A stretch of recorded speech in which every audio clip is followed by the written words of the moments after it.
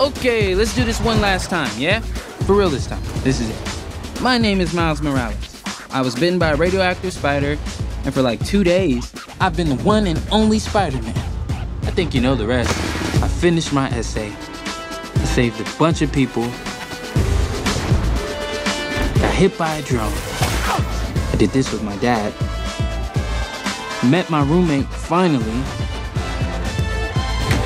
Slapped a sticker where my dad's never gonna find it. And when I feel alone, like no one understands what I'm going through, I remember my friends who get it.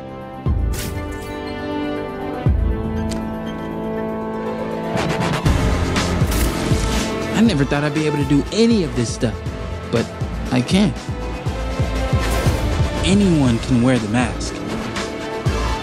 You could wear the mask. You didn't know that before, I hope you do now.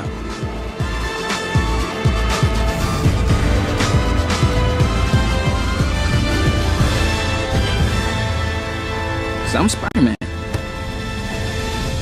And I'm not the only one. Not by a long shot.